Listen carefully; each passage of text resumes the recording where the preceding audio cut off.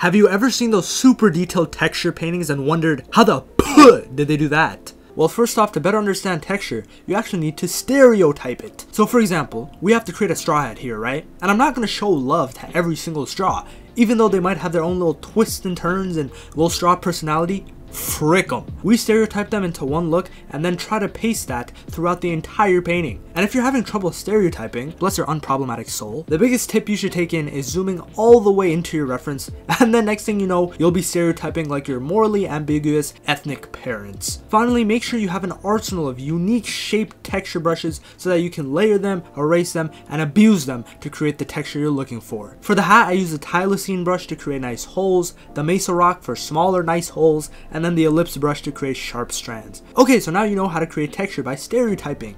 Reminder, do not apply this technique to humans.